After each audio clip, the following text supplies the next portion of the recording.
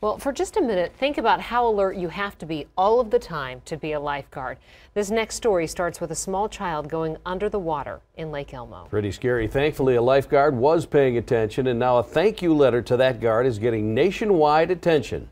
Fox 9's Leah Bino has more from Lake Elmo.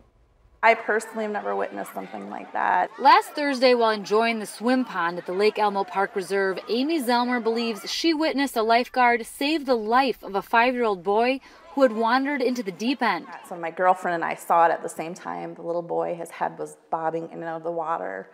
Um, and she got in and got him out, and she carried him up, and we could see he was limp. And she laid him down and started doing some compressions. This started out kind of as an assist because the child was was conscious and was talking to her when she got in the water.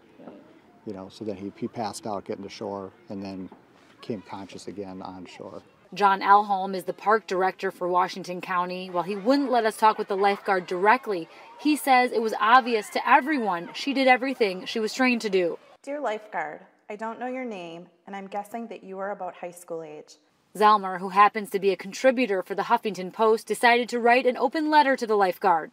I wrote this because I wanted to bring some recognition to what the girl did. I know it's her job, but I also saw how shook up she was. I just really wanted her to know that she did a really good job. Had it been two seconds later, this could have been a very different story.